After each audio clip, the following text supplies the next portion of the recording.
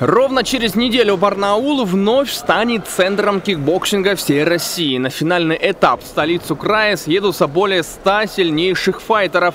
И на ринге мы увидим представителей 41 региона страны. За Алтайский край будут боксировать 5 кикбоксеров. На протяжении всего сезона они принимали участие в региональных и всероссийских стартах, по итогу которых был создан рейтинг, позволяющий выступать на спартакиаде учащихся.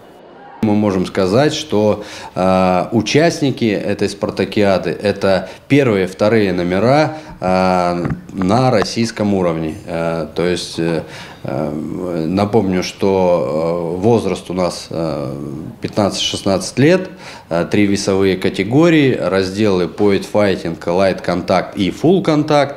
Э, среди э, нашей команды один спортсмен будет э, представлять э, Алтайский край в разделе э, Point Fighting, и э, четыре спортсмена будут представлять э, нашу команду уже в таком привычном, скажем так, нам разделе. Это full контакт.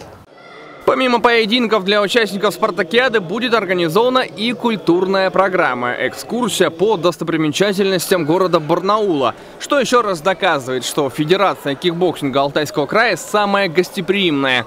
Напомним, файтеры будут выяснять отношения на ринге 7 и 8 августа. Встречи начнутся с 1-8 финала с 10 утра. Поединки пройдут в спортивном комплексе «Победа». Дмитрий Дроздов, Дмитрий Денисов. День с толком.